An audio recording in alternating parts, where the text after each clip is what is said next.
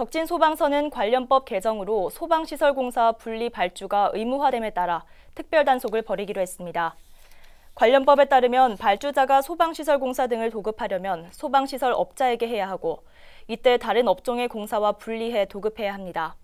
또한 하도급은 금지됩니다. 이 규정을 위반할 경우 3년 이하의 징역 또는 3천만 원 이하의 벌금에 처해집니다.